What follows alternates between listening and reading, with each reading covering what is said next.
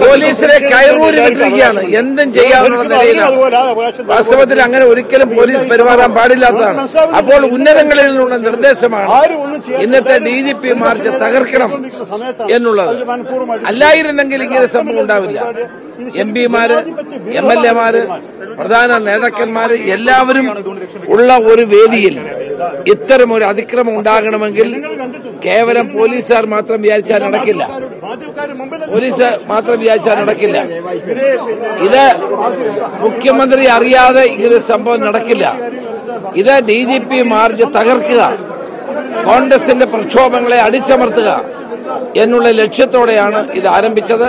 ഇതൊരിക്കലും അംഗീകരിച്ചു കൊടുക്കാൻ കഴിയില്ല. ശക്തമായ പ്രതിഷേധം ഇതിന്റെ പേരിൽ ഉണ്ടാകും എന്ന് ഞാൻ ഗവൺമെന്റിന് മുന്നറിയിപ്പ് നൽകുക.